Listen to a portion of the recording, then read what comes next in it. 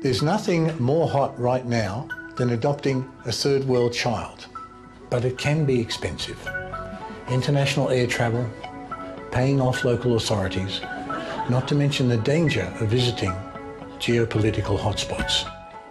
Why go to the trouble of getting your new child from overseas when you've got one in your very own backyard? With our new advanced plastic surgery techniques, we can turn little Duncan into Duncombe, Dunlan, or Dun Eric Timbar. With your new global family, you will be the must-invite guests to every barbecue, dinner party, or human rights benefits concert.